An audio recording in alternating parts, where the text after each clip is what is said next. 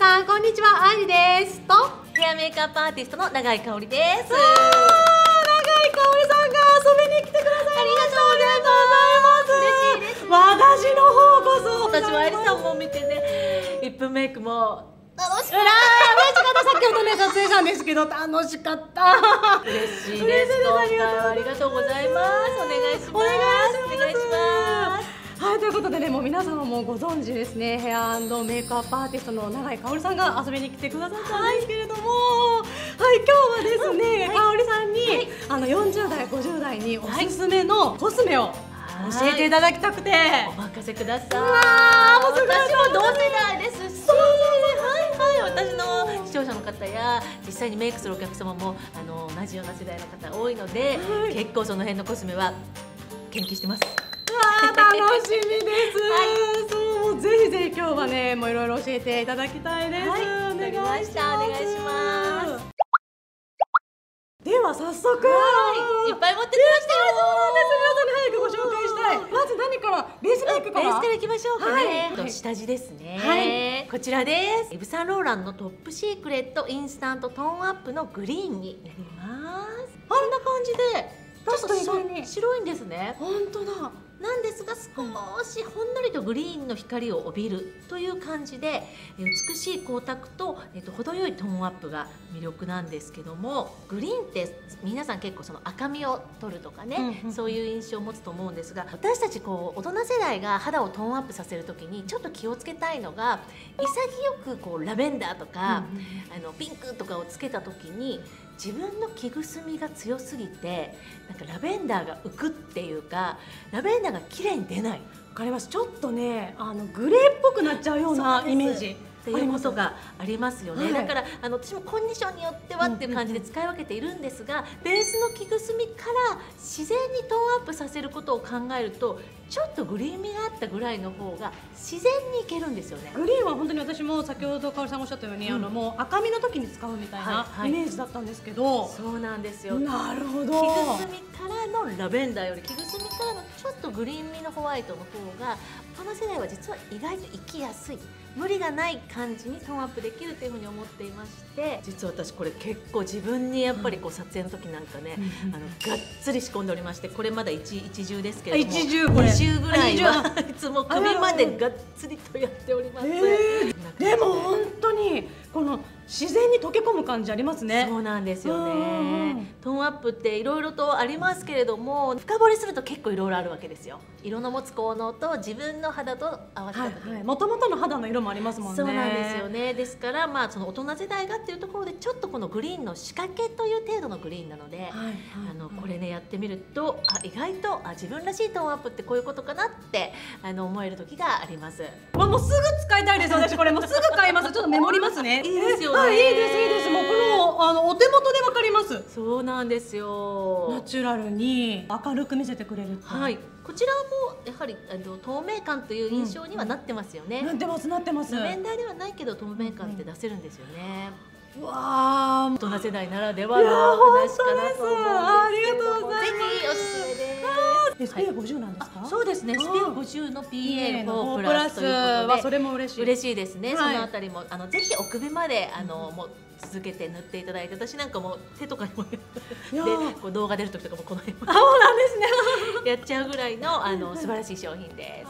ありがとうございます続いてはじゃあ、はい。ファンデーション。ファンデーションはこちら。キスミーフェルムのクッションワンダーラストというファンデーションになります。初めてであす新しい商品になりますね、キスミーフェルムちょっと大人向けの買いやすい価格帯のブランドでしていわゆるクッションなんですけれども、はい。ちょっとねここのメッシュの部分が面白い、あ本当です2層のメッシュになって、うん。意外とそのクッションファンデってこうここに取り去る時が結構難しいって言われてわかります。ねあのクッションが本当にスポンジみたいな感じになっていたりとか、い、ろんなパターンがありますよね、この面はいろんなパターンがありましてここはまあメッシュ構造なんですけれどもね、なんかここにもすごく工夫があって誰がどう撮ってもね綺麗にあのすごく自然に撮ることができてそれでもうなじませてしまうとあらもう綺麗になっちゃってますね物気になっちゃって。やだあら綺麗やだ綺やだすごいことになっちゃうぐらい、麗あのツヤ感もいいですしねあの、うんすっごく心地よくってこのこのお値段でいいのっていうぐらいのあのクオリティでしてキスミフェルムはちょっとチェックですよ。もうなんか同世代だからこそなんかすごく安心感のある悩みは一緒です。本当に。すごいはい、頑張りましょう。はい頑張ります じゃあ次は、えっとコンシーラーに行ってみたいんですが、あこちらの。あー定評ありますねこちらそうなんです。愛理さんもご存知の私こちらね実はうまく使いこなせてないんそうでですしたか。はいこちらはコスメデコルテのトーンパーフェクティングパレット。もう名品コンシーラーと言われるぐらい人気なんです。うんうん私も3色あってうん。暗いものミドルそしてこれ明るいタイプですが、うん。どれも穴あきコスメとして。本当に空いてますね。そうなんですね。何個もリピートしていてやっぱり撮影の時はもういろんな人に使いますのでうん。常に常備してるんですがアイリさん難しかったですか？難しかったんです、うんうんあのこれは、あの私結構大きなねシンボルシミっていうものがありまして。シンボルシミって可愛い。名前が。名前が。うん。そうシンボルシミちゃんがね、はい。い、らっしゃいますので、これをまずどういう風に隠すかとか、うんうん。あとあの目の下のね、はい。あのクマのあたりに使うコンシーラーとやっぱり使い分けないと、うん。カバー力ありすぎるものを目の下に使うと、はい。やっぱりだんだん時間経っていくともうカッピカピになっちゃってもうシワシワになっちゃうから目元はなるべくうん。薄付きのもの、なるほど。でシンボルシミちゃんだけはもうしっかりカバー力のあるもの、そうですね。そうなんです。そうすると、うん。この商品だとどちらに使っていいかとか、なるほど。はい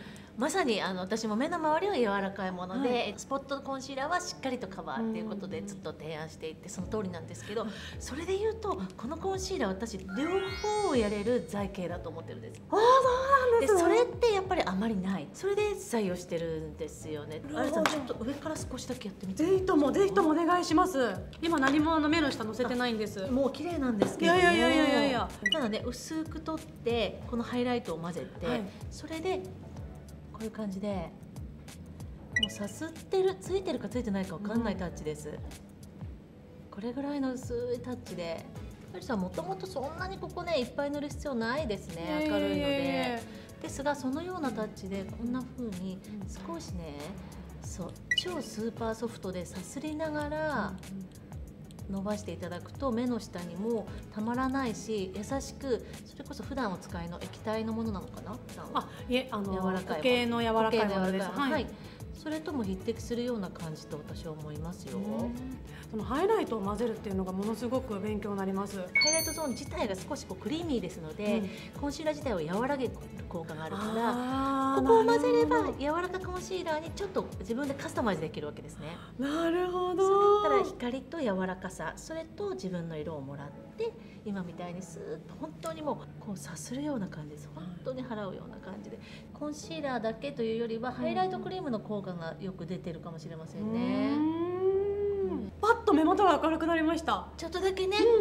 もともと綺麗だけど。へえさらにこういった小花とかも、あのこの柔らかいものでそのまんま。今その見たらもう小花がもう真っ赤になってました。あちょっとせっかくなのはいありがとうございます。小花の赤みはね疲れが出たりするとやっぱ結構目立ってくるので私もね朝起きてね真っ赤っかです。あ本当ですか、はい、柔らかく払うようにしてやってあげると 柔らかコンシーラーになりますの。本当ですね。あ、この鼻の周りがすごく綺麗になってます。はい。スポット的なシミを隠す時に初めてこの面白い形になる。はい。で液体の柔らかさは必要ないし明るさももういらないんで、はい。自分の肌に合わせるような感じで、うん。この辺りでしょうか、ここに、えー、と垂直に入れていきます。垂直にっていうのがすごく重要だし、うんこのスポット的なこのドラえもんの手みたいなそうですね、うん、これがやっぱ私はねうまいなと思います。これを使うことでぐっとカバー力が上がるしピチッと消えてくもうわかんない。もともとはもうわかんない。あそんなことないです。もうがっつり隠してきて。そうだからこれもうほんとちっちゃいもの全部これで取っていきますので。あーすごい。あとはもうねスポンジに結構がっつりそのまま取っちゃって、はいはい。このオレンジみたいな感じでチークみたいに見えません？もはや色が。確かにそうですね。ちょっとね赤みがありますね。そうなんですよ。だからうん。カバー力チークってことでもうこれ全体でチークにしちゃう。うーん。そうするとやっぱりこのシミのゾーンにあのチークのせたいっていう方なんかはもうこれでちょっともうチークができちゃうんですよね。あすごく綺麗です。ってことは一個でいける。るもう使ってなかった。自分を叱りたい私。これはちょっと引っ張り出してきます私。これだけでも十分いけるんですね、アリさんはこのゼロゼロ番でいいんじゃないでしょうか。これ私ちょっとやあの人生損しちゃった。あもったいないことしちゃった。ねこれはいいですよね、うん。いいです。化粧直しでこのこの辺のシミ出てきたらやっぱこう上から。チーク兼。っうんうん。て感じで、なんかあの先ほどのあのカオルさんとのええ。コラボ動画撮った時に、あの教えていただいたのはい。もそうなんですけど、こうファンデーションとチークを混ぜて使うことでこうカバー力プラス、はい。こう血色感を出すっていうのが、ものすごく私勉強になりましていやこれはねやっぱりこの年代ならではの カバー力だって必要ないもの。若い方なんですよ。だからチークを指でポッポポッポとかって言いますけど、ポンポコしたらシミが出ちゃうんだよ出ちゃうの。出ちゃうんですよ。だからそれがそうなんですよ。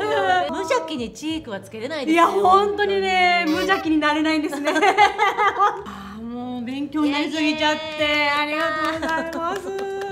もう一つまた続きで、コスメでくるって A9 オーラリフレクター。これは02番という色です私実はゼロ一番をそうですか持ってる。ラベンダーから？あそうです、ええでも実はね、ええ。うまく使いこなあせてらあらどうしてどうなりました？なんかですね、表面がこう真っ白なマットみたいになってしまって、はい。乗せ方が難しいな確かにそうなんですよね、潔くパッと明るくなって、うん。パッとマットになりますよね。あそうですそうですそうです、うんうんうん。本当にその通だりから確かに使い方をちょっと大胆に全部行き過ぎると効果が強すぎるかもしれないですがいい風に捉えれば少量で狭いポジションで効果を発揮できるってことですよね。うーん。なるほど。ですからすごくはい。そのポイントを絞ってですね、はい。あのブラシにとってですね、はい。私はもうこの T ゾーンはい。そしてこのテカリやすいこのあ辺りはい。ほこのこのこの辺り、はい。あとはもうこの辺。ハイライトみたいな感じかな、本当に顔の中央だけにあのぐっとしかも押し込みながら、うん。あの入れるようにしています。あと首ということで本当にスポット的に使うだけなんですが急にパッと発光しますよ。そうなんありさん今乗せたい。ありがとうございます。お願いします。私乗せすぎちゃってるかも。お顔の広い位置に行き過ぎましたかね。そうかもしれないです。真ん中の色ぐらいでも良かったのかなそうですね。ちょっと私欲張りすぎちゃいました。いやでもねスポット的に使えば絶対大丈夫。であまりあの大人世代粉もねあの無邪気にガシガシはたくと、せっかくやったいベースメイクが剥がれてまいりますのでね、そうですそんな感じでちょっとですよちょっとだけ本当に今ふわふわっと乗ってただけですもんね。はい、しかも狭い範囲ですああいいですね。わかります。ちょっとパッと。もうね全然先ほどと違うんですよね。もう私結構ギトギトしてましたし、いやいや。なんかね明るさが足りないなと思ったんですけど、ちょっとこう顔がパッと明るく。となりますね、はい。確かにゼロ二番いいですね。私はねこれをやっぱりやるとやらないとでは映えが違うと思っています。ああなるほど、メイク映えが。です。も今あの鏡見た時そう思いました。盛るっていうか映えってあ感じ、うんわかりますわかります、うん。はいわかります、ね。使い方をこうやって教えていただく機会っていうのはなかなかないのでそうですね。本当にはい眉眉毛。毛大切な眉毛。おざなりにしておりますのでいつも私はね眉毛をね。あれはもう本当にあの私たちの心を浄化してくれるもう素敵なエンタメでいらっしゃるのであれはもう続けてください。本当に浄化です。もうありがとうございます奇跡の動画ですから。ちょっとね2つ使うというあれを考えると面倒くさくなっちゃう。いやいやいやいやもう眉毛大事ですから。大事なんですけはい。れども、えっと実は私があの提唱しています、あの眉毛のテクニックの最新版というのがちょっとこう薄っぽく見せる薄眉なんですね。で薄眉って言いますと大人の方が薄くしたらぼやけるんじゃないの？とかって心配になると思うんですけれども、私も今日このテクニックを。ですよね。今はいもうちらっと見させていただきました。そうなんです。ごく素敵で垢あり抜けてがとうございます。そこまで薄いというよりは、はいはいはい。ちょっとだけ色の方向性を、うん。多分皆さんがこう焦げ茶のような感じで引き締めて描いてらっしゃるとするとちょっと薄くするっていう感じなんですけれどもね。薄くするとね私がこれ自分でやってあの周りの反応としては、若く見えるっていうああなるほど。わかる気がします。あと柔らかさも出ますね。そうです。あとうん。優しく見える、優しくはい。薄くすることで若くなるとか優しくなるっていうことが結果として生まれますので。引き締めを一度忘れてあのこの薄くしてみるっていうのをね皆さん結構私の視聴者の方もやってくださってみんなね結構大成功しています確かにちょっと勇気がいりますね。はい実は私もしっかり描いちゃうんですよ。いつもちょっと濃いなと思いながらも結構力強く描いちゃうことが多くて。今すごくナチュラルで本当に若々しいので。すけれどもその分あのここを薄くしますので、はい。目元とかはどんなにねあの持っても大丈夫だからなるほど。目をしっかり持って、はい。そしてマスクも取れて今チークもリップもやりますので、もう全部他のパーツ持って大丈夫なんですね。眉さえ薄くしておけば。これがね新時代のバランスじゃないかなと思って提案していましてはい。一番初めに実はもういきなり眉マスカラをします。前ますから最初ですか。そうです。あもう靴が靴がありました私頭の中が。そうなんです、はい。ペンはもう後回し。いきなりこの、えー、藤子のマジカルアイブロウカラー02という色がですね毛が結構眉毛しっかりしている日本人の方にはあの適しているなと思っていまして。うん。本当だ濃すぎず柔らかすぎず。ですがちょっと白っぽく見えますよね。あそうですね白っぽく見えます。もともと毛がしっかりとある方黒い方なんかにはとてもしっくりきます。毛が黒くて硬い人は02少し柔らかい人は01先にね薄くしちゃってはい。その後に、はい。あとはもうね好きなだけ描いていただいていいんです。もうすごく今もうワクワクが止まらないです。ぜひぜひ、はい。やってみていただきたいんですけれども、その後はおすすめしているのはこのシャネルのね、はい。えーペンシルのスティロスルシルウォータープルーフの818番という色です。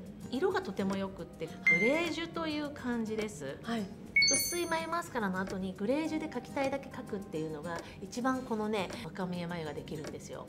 ちょっともう理屈を話し出すと大変な話。いやー本当にもう後ほどゆっくり聞かせてください。このグレージュという色はもしかすると、あの皆さんお持ちのものにあるかもしれないし、いわゆるブラウンというよりはちょっとグレーがかった色ですね。そうです。ね私もちょっとあの持ってるんですけどこの色の番号だったかちょっと思い出せなくて今すぐ見たいぐらい。818がとってもいいです？818薄くした眉毛の隙間を縫って好きなだけ描いていただいて最後に、えースクリューブラシで溶かすとすごい馴染みます。ちなみにですね、はい私あのだいぶ抜いてしまいまして若い頃に。はい、もちろん私もですよ。いやでもすごいあのあのあのすっぴん。拝見しましたけど綺麗に眉毛残ってら。っしゃる下が全然ない。あ。本当ですか。もう下うん目尻がとにかくなくて、はい。い、つもねだから不安だから濃く描いちゃうんですよ。眉尻わかりますわかります。一回薄くしちゃえばどんなに描いても大丈夫、えー。最初から描き出すとみんな止まらないですよもう。はい。止まらないです。そう、はい。でさらに眉マスカラするとなんか変な方向に行くんですけれども、はいはいはい。えっと、先に染めていただいてグレーでもうぜひこれやっていただくとねびっくりするぐらい垢抜けて若くなる。やりたいでもうシャネルのいいところは、まあ、芯先が太くとても大胆に描けるというところです。普段仕事でも使ってるんですけれどももうちょっと細いペンシルを使って描くところが少ない方なんかは細くていいですね。ああなるほど、はい。じゃあ私はがっつりこのぐらいあった方がいいですね。の方が早いんじゃないかと思います。で若くするためにこの眉を提案作り上げたわけじゃないんですけれども、うんうんうんうん。結果そうなった。ああなるほど。逆に他のパーツを楽しむための眉と提案として実は最初完成したんです。本当に今もうすごく綺麗なので当ですか？ぜひやりたいです。これですこれです。ね。あもうすぐまたメモメメモすることがもう大変。大ジャンルいきます。はいらは韓国コスメのアイムミミマルチキューブというものです。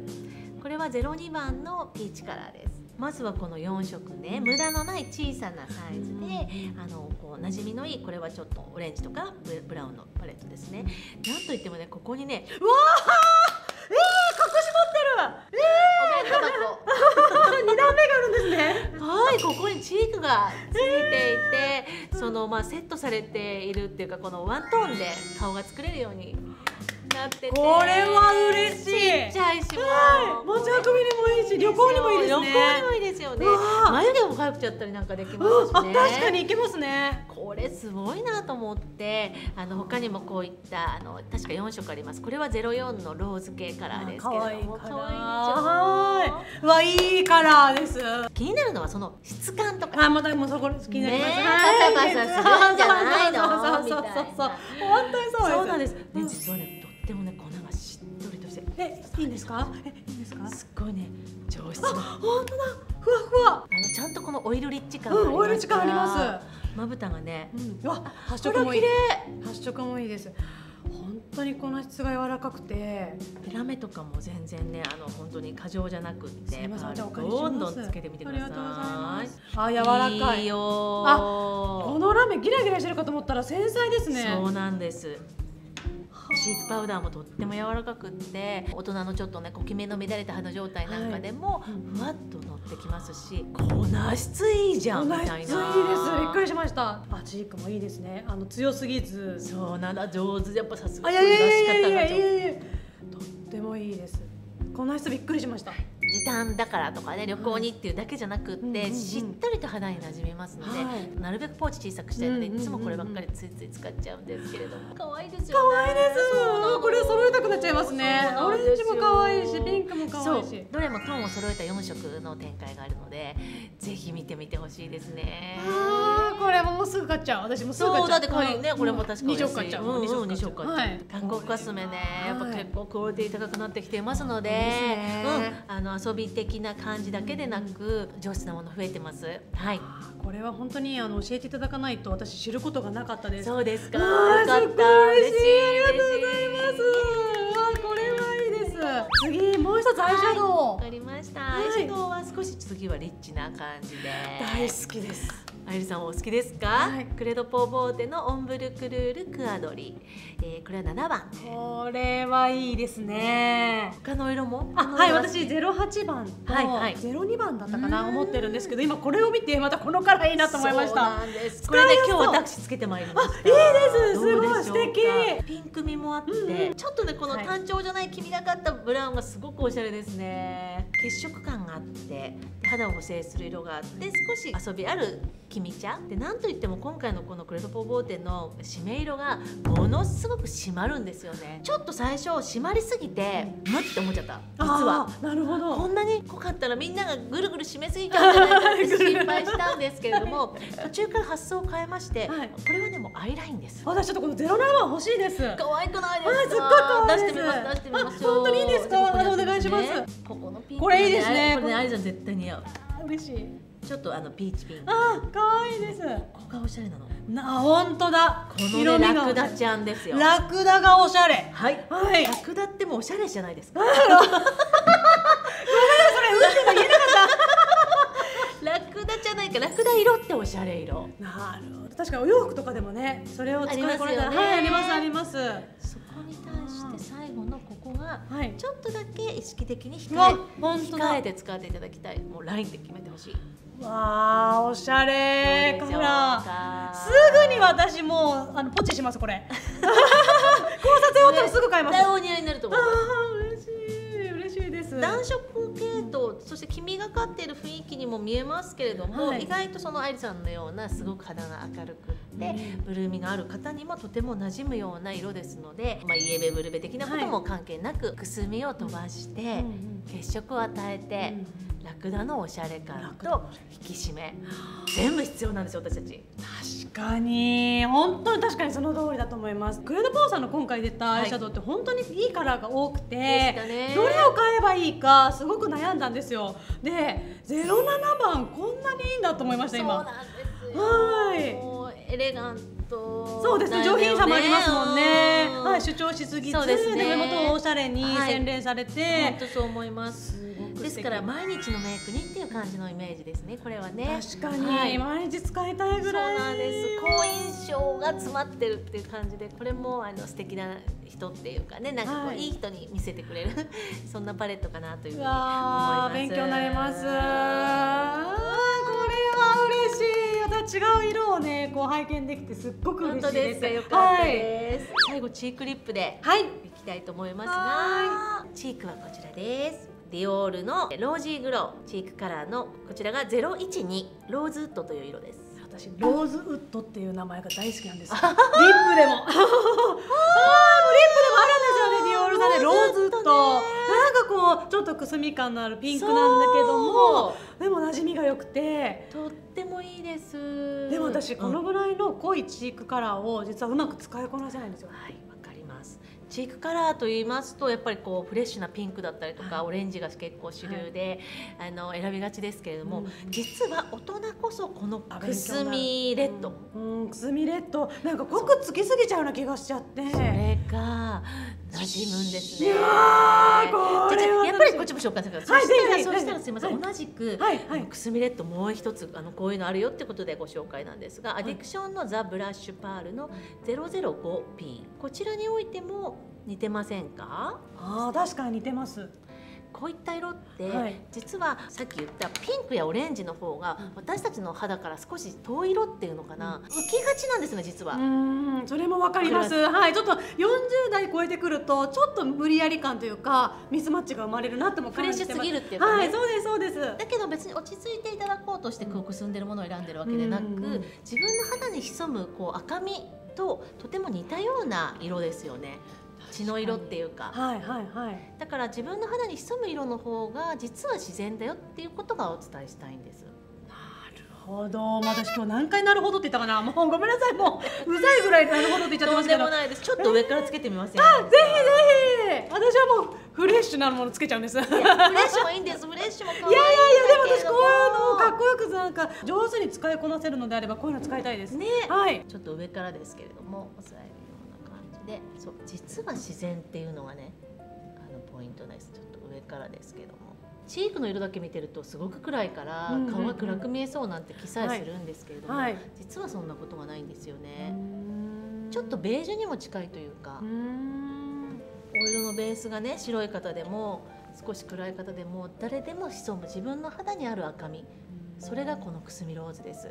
ちょっとオレンジの上だからうまくあれだったかもしれないけあどでもはい全然。はい、どうでしょうか？はい。あ、なるほど深みが出ました。なんか顔のやっぱ上品さっていうんですかね。はい全然暗くならないですね。暗くないですよね。はい乗せた方がもっと自然に映ります。このまま肌には出てこない。ちゃんと明るさが出てくるので、意外とつけてみた方がフレッシュピンクやフレッシュオレンジの時よりもしっくりと馴染むっていう現象にえ気づいていただけると思いますので、あこんなどんよりしちゃってるって見えがちなものの方がうまくいくっていうことをお伝えしたかったです。うわー本当に勉強になります。いやいやいや今も乗せ方も柔らかくポンポンで乗せてらっしゃいましたよね。はいそうなんですよ。こう私シャーシャーシャーってやりたくなっちゃうんですけど、シャーシャーするとまたほらいろいろ。取れちゃうんです。出ててそうです。そうなんです。ポンポン。置くような感じですかね。は押し付ける感じで。乗せる位置のおすすめありますか？そうですね。あの私はねみんなにおすすめできる位置としてはこのキュンハートのハートでございます。ははい。これでちょっと平べったいハート型にこういうちょっと内側も含めて。そうですそうです。だからアリさんにも今ちょっと引っかかはい。ってこういう感じで出てるんですよ、うーん。ちょっと引っかかってこういう感じで。こうじゃなくてこのちょっとこう V 字を。ちょっと V 字入れて少しこうか最後角度気持ちかけてあげると大人の方はねあのやっぱ横から見た時も綺麗なのでっていう感じですあーもうこれ、はい。自分で編集しながらもう勉強します。はい。はいあ可愛らしいでも。すごいすごいです。うん。うん。くすみレッドの魔力って結構すごいものがあります。意識持って探さないとね見つからないのねこの色が。本当に私自分では探せないですこのカラー。ちょうど良い程よい明るさも保ちながら、はい。でも深みのあるはい。くすみレッドだから難しいこれを見つけるのは。実はあのある探すとあるよっていうことでおしゃれなものっていう立ち位置ではなく大人のための自然チークっていうふうに思ってフレッシュピンクからちょっとメール皆さんちょっと卒業してみてはどう？でしょうあーすぐ卒業します私もう卒業式ですこれは今日。はい。ダメじゃないですけどね。はいどうぞダメじゃない。はいでもねその時々によってそう使いですそうです、ねこれからまた秋に向けてね、はい。こういったお色でいいかなと思います。あそうなんですそうです。秋冬に使えるあのチークが欲しいなって思ってたんです。いいですね。はいちょうど。はい最後リップを、はいどうしよういっぱいあるいっぱいあります。全部知りたい全部大丈夫です全部教えて。ください教えて。もうかしこまりでございますじゃあ一番初めにリップライナーです、はい。リンメルラスティングフィニッシュエグザジェレートリップライナー。これはねローズアディクション018かおりさんってあのまだ小さい文字読めますね。まだなんとかね。全然読めますね。私も。もうちょっとボケちゃってボケちゃって。二三年後。あです。私もそう思っております。ローズアディクションということでこのリップライナーも皆さんあれ今のチークの話と似てませんか？本当ですね。いいから。はい、くすみレッド、くすみローズなんですね。で、この色がなぜいいかというと、自分の唇の元の色に近い、くすみがかった大人の唇の色。うーんわかります。っってこうじゃないですか。はい若い時とはやっぱり違いますもん。はい、うん。ですからその素の唇の色のリップライナーを一つ持っておくとオーバーリップとか唇のぼやけが気になった時にこう拡張することができるんですよね。つけたいリップの色とリップペンシルを合わせるのではなくってくすみ唇。悲しいですね何 回もくすみって言ってる。じゃん悲しいですけど 自分のくすみ唇と同じ色のライナーで、えー大きくすると自然なわけです。じゃあ元々の唇をちょっと大きく大きくっていうかオーバーさせることで、また自然に唇がプルッとしてるよそううですなそうです。特に大人世代は上唇気持ちを大きくしてあげた方がやっぱりここの陣中とかもこう伸びてきた感じに見えますし多くの方見てきましたが上唇も皆さん12ミリは大きく大きい方がみんな綺麗でしょうね。最近私リップペンシルはもう何年も使ってなくてそうですよね。あんまりリップでやっちゃおうみたいな感じですけどこういうもの一本持っておくと、はい。またちょっと仕上がりが違うんでしょうね。そうですね。より唇の大きさをこうバレずにっていうかどうしてもシアなリップなんか塗ってオーバーリップやっちゃいますと、はみ出しちゃってるんだよねちょっとはみ出しちゃってんね。オーバー無理にオーバーしちゃってるよね。みたいな感じなんだよねあーわかります。だったら自分の唇ここまでなんですけどってうん。いう詐欺ができる。元からですけど。ができるんですね。あ詐欺ー職でございますなるほど。うわー勉強になる。そうだから一本持っておいて、はい。それでじゃあ今日何色つけようかなっていうふうに、あの考えていけばいいわけですね。プチプラでねいい。んじゃないかなと思い。まして、リンメルにその色がありましたので選んでみました。うわいいカラーです。ありがとうございます。あなんか楽させてもらっちゃって私探す手間をね、こう省かせていただいて本当にありがたいです。とってもお忙しいと思いますのでぜひお役に立てたら嬉しいですよ、はい。もうポチポチポチすいませんと必要なものですからね。はい、じゃあリップあと2つなります、まずはこちらです。ジルスチュアートのこれはもうほらこれね色リなのよ。ジルスチュアートクリスタルブルームリップブーケセラム。これアリさんご存知ですか？はいあの拝見したことあるんですけど使ったことがないんです。そうなんです。もうとってもラブリーな感じでね。はい。ただですねこの可愛さに驚いてはいけないっていうか緊張してはいけません。実は大人世代に必要なプランプアップ。うーん。これねめちゃめちゃねブーンなりますもうねジンジン。あジンジンきちゃうあら。でねブーンってなる。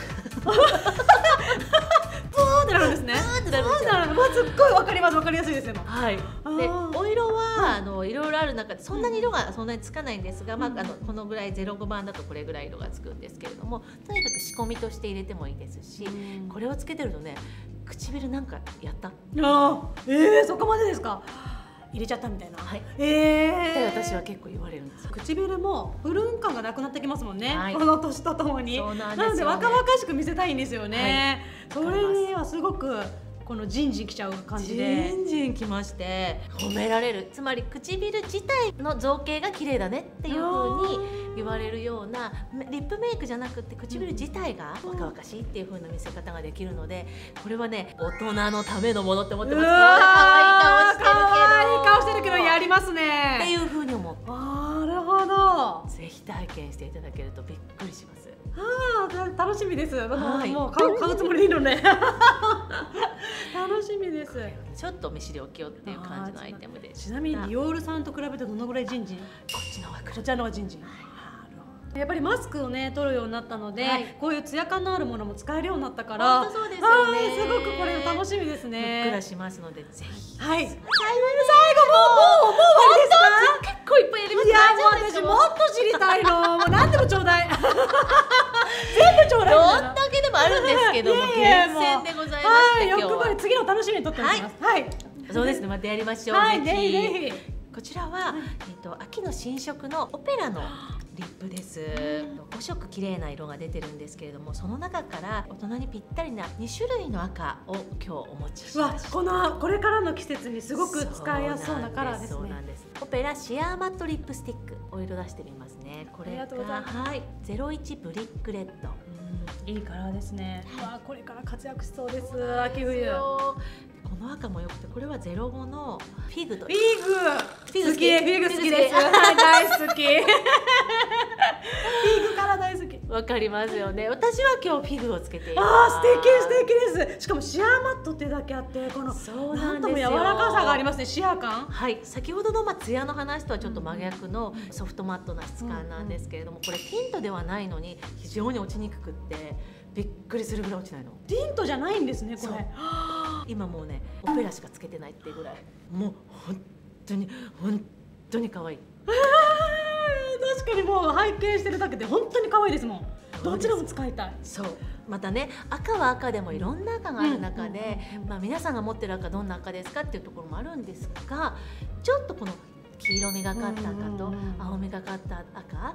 この2つをやっぱり持っておくとすごくその日のコーディネートで変えていけますし今みんなが持ってるべき方向性の赤リップっていう感じが私するんです。しますします。かおりさんのお口見ていて素敵だなって私ずっと思ってたのでなんだこれだったんですね。そうなんです。ちょっと青みの方の赤なんですけれども、はい、でも青み感が強すぎてないそうなんです。だって目元はほら、はい、あそうですね。そうですね。ラクダなんか入れて、うんうん、黄身入れて青み入れて、うんうんうん、ということでもいろいろなんですけどでもすっごくバランスの取れたすごく素敵。ですはい、艶がないとどうしても大人の唇はとかね不安っていう方いると思うんですけれどもこの心地よさと艶じゃないのに自信が持てるこの感じっていうのかな。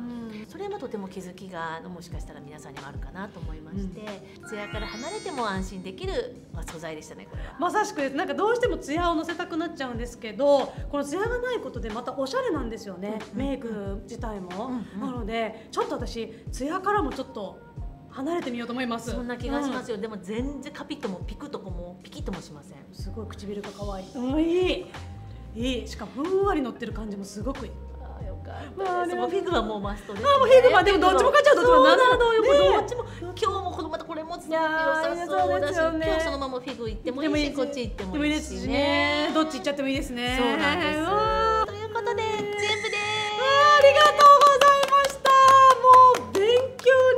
ましたかなり。嬉しいです。もうあの私本当はあの使ったことのないコスメばっかりで、はい、そうでしたそうなんです。あと眠ってる系眠ってる系もあります眠ってる系あります。はいそうなんです。色味がね持ってないものだったりとか、はい。はい、本当に目から鱗のアイテムばっかり。よかったです。ありがとうございます。はいということで今日はかおりさんに40代50代おすすめのコスメ教えていただき本当にありがとうございました。すっごく勉強になって。楽しかったです、楽しかったです。もうなんか初対面と思えないぐらい。そうでした。初対面なんで忘れちゃうぐらい。今昔から友達か当です。なんでかしら。ああもう楽しくて楽しくて。本当にありがとうございました。そうねあのかおりさんもねあの YouTube やってらっしゃって、あのお邪魔させて今回いただきました。で初めてのことに挑戦されてますので とっても面白い動画で上がってますのでね。よかったらあの遊びに行ってみてください。はい。ということで今日も最後までご覧いただきありがとうございました。それでは次の動画でお会いしましょう。またねありがとうございました。とっても楽しかったです。ありがとうございました嬉しい嬉しい。もう全部取ってほしかったぐらい。ありがとう